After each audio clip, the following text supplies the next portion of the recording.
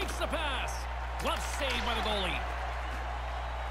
Slides the puck across to Shaw. Fires it, and that carries off a stick. Moves it to Fournier. Slides the puck down low. And tries to make a diagonal pass to Shaw. Boston's got control of it now here in the offensive end.